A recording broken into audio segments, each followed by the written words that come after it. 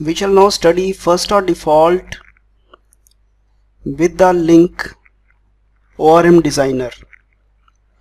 First or default is an extension method like where, order by. We shall study what it is used for and how to use it in our present case. There are three similar extension methods one is first or default.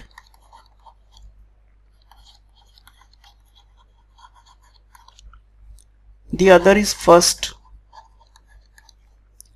And the third is single. Let us study them one by one. Suppose there is a result set that returns let us say 10 rows.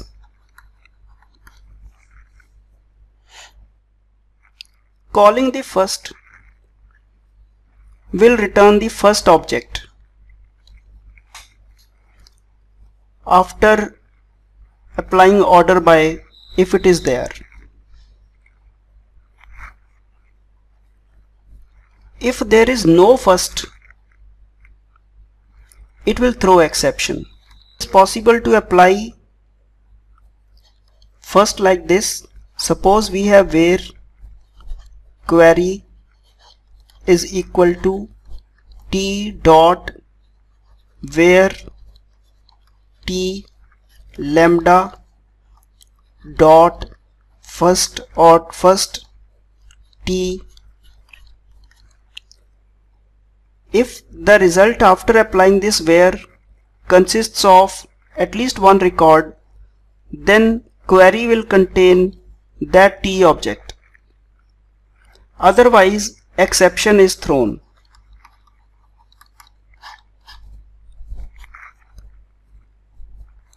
You can club these two also together where and first by writing it like this t dot first t and writing lambda here.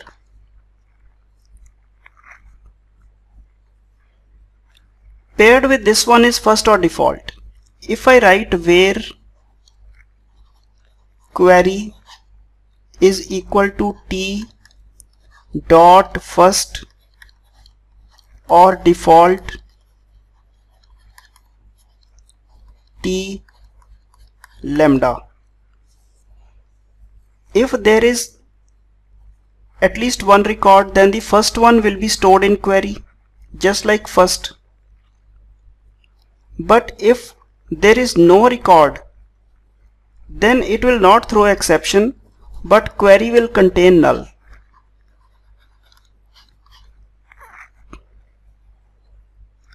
So you might find this one to be easier to use so that in the ne very next statement you can test for whether your query contains null or not.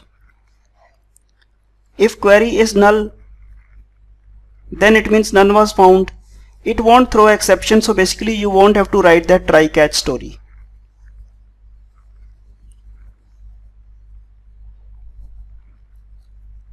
So first or default will return the default value and the default value of all reference types is null.